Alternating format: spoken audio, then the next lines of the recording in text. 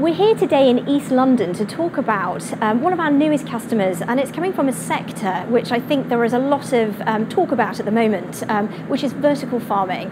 I'm really lucky to have Chris here, who's the CEO of Harvest London, who is really pioneering this concept and will tell us a little bit more about um, the work that he's doing. So, Chris, I mean, a hugely exciting concept. Why is vertical farming so important for the future? Vertical farming is very important because we have a multitude of problems that we've created as part of the food system that we've created. We're going to have a lot more mouths to feed come 2050. And there are all of these problems around water usage, around soil degradation, that technology like this does go some way in terms of addressing.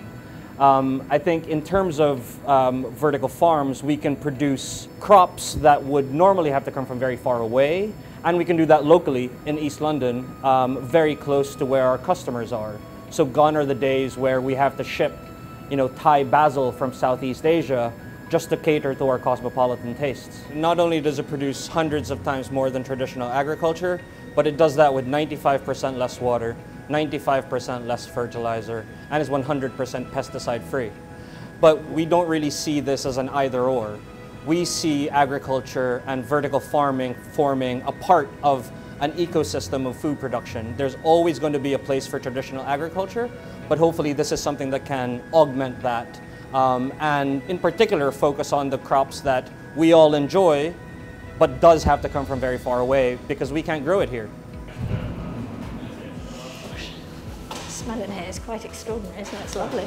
One of the reasons why we're working together with you at Octopus is um, looking at the way that you operate and um, you of course um, when you talk about these controlled environments um, have to use a lot of preferably green electrons um, in the model. Um, it would be great actually just to talk a little bit about how these products are grown in those, those very controlled environments and the types of equipment that you're using that's using electricity. Absolutely. So we grow um, in a, a, controlled environment where we actually control every variable of growth. So we, inside this box, we can control lights, humidity, temperature, essentially creating the perfect growing conditions for crops so that it tastes the best, it lasts the longest on the shelf, um, and it doesn't have to travel from very far away. So in there right now, it's it's 28 degrees Celsius because it's the perfect growing conditions for basil. So as we grow our basil, one of the reasons that we keep it very warm in there and keep the lights on all the time is so that we can grow quite a lot of produce in a very short amount of time and space. So in there, our lights are on about 20 hours a day, which obviously means that the, the plants grow a lot quicker. Touching on what you've said around um, the service that Octopus is providing us, nighttime for our plants is actually between 3 p.m. and 7 p.m.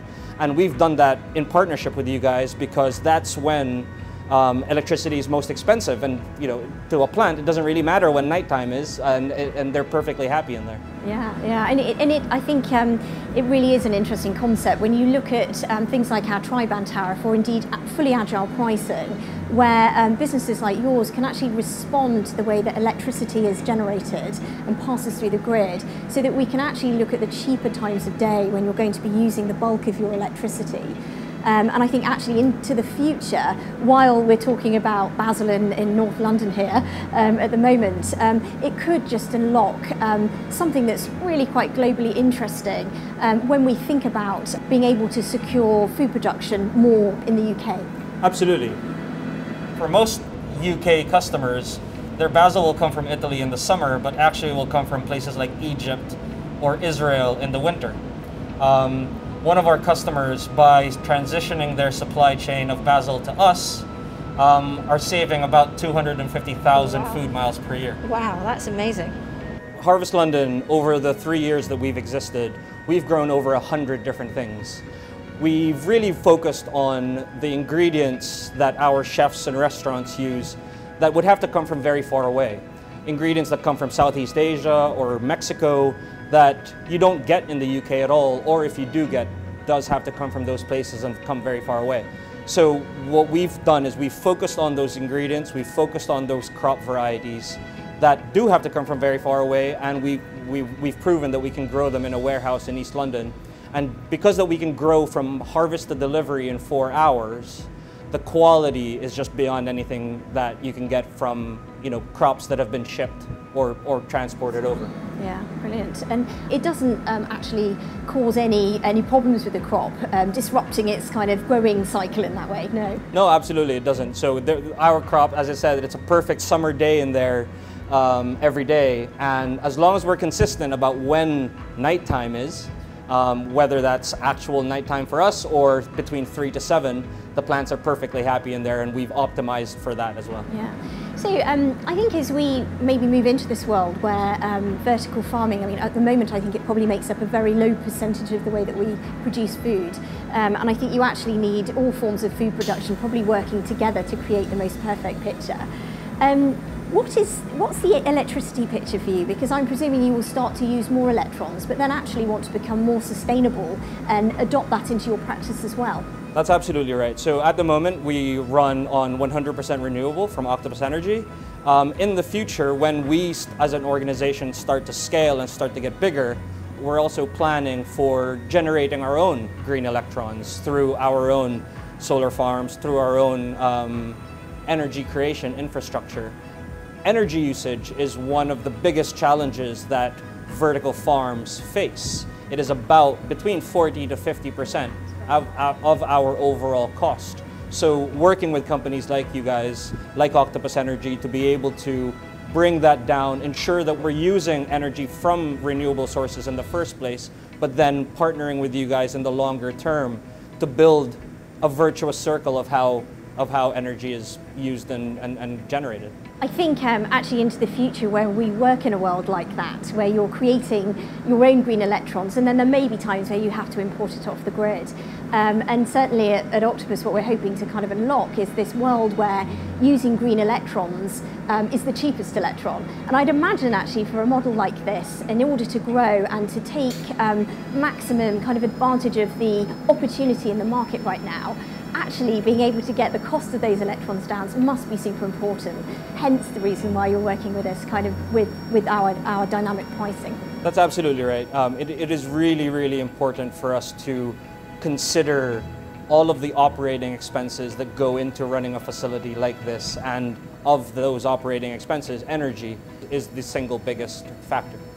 So Chris, I mean we're currently in a climate where um, we've just been through a COVID recession, we're currently in it, um, and one of the things that everyone is talking about is this, this way of building back in a greener way. And vertical farming comes up as one of the models actually that could help us do this.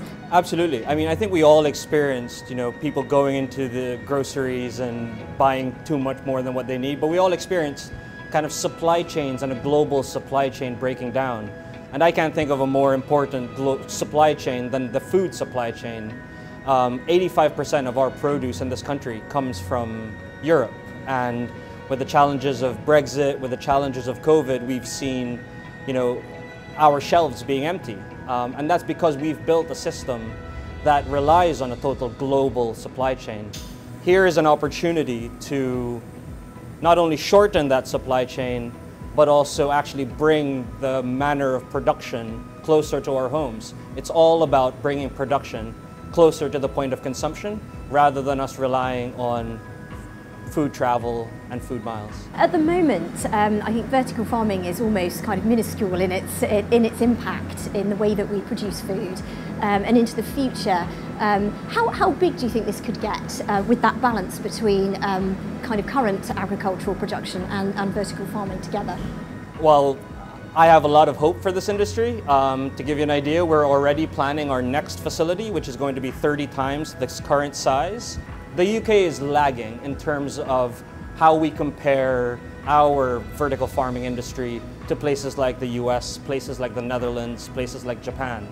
The Netherlands is a very, very small country, and yet is the second largest exporter of fresh produce in the world, next only to, next only to, to the Americans. Um, and that's because that they have adopted controlled environment agriculture techniques, of which vertical farming is just one. You know, they're very big about greenhouse growing, um, and they've totally transformed their food supply chain to be a lot more local. And of course, uh, I think we could do the same. And probably in, in the UK, um, the way that we kind of see it at the moment, it's a bit like um, when the iPhone first launched, and it was only for a specific group of people. Um, but actually, as we try and imagine what vertical farming could do um, to the way that we view the world, it could actually it could change significantly um, the way that we grow and we produce food into the future. Absolutely, I think you know we've all developed our cosmopolitan tastes. We all want the Mexican burrito and the Italian pasta. And this is about being able to have that not at the expense of sustainability. Yeah, yeah, absolutely. Brilliant. Well, thank you very much. Thank you.